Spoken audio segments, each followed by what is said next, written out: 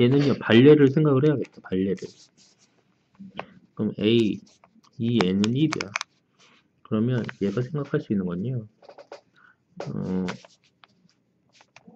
limit n이 무한대로 갈 때 어, 원래 이건 되는 건데 a n이 1이잖아? limit 만약에 얘가 1이면 limit a 2n도 1이다 이렇게 가는 건 맞는데 거꾸로 가는 건 안 된다는 거네. limit a n은 1 이것은 안 된다. 왜냐면 얘가 1이 될 경우 중에 이런 게 있대. 마이너스 1에 n 이렇게 될 경우에 아니 제가 an이 마이너스 1에 n승이야. 그죠? 그러면 limit an은 얘는 발산하잖아요. 발산 네, 리미트.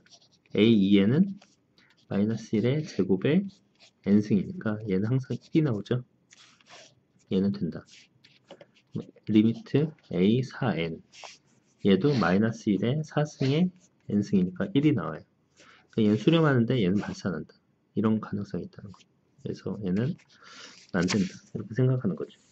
마찬가지로 2n-1도 같은 걸로 발리할 하시겠네 마이너스 1에 2n-1은요 홀수항이잖아요 그러므로 마이너스 1, 1 이렇게 진동하는 형태가 나오겠다 어. 그래서 얘는 발리를 외워두세요 그래서 이게 어, 짝수 2n, 4n 이렇게 짝수배로 가기 음. 때문에 가능하다 음. 그러니까 an이 이게 수렴하면 a2n도 수렴한다 짝수배로 가니까 이렇게 생각을 하시는 게 더 편할 것 같아요.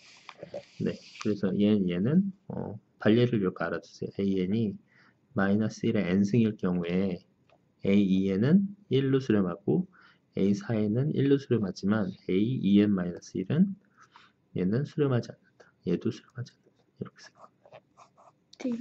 음, 그래서 음. 두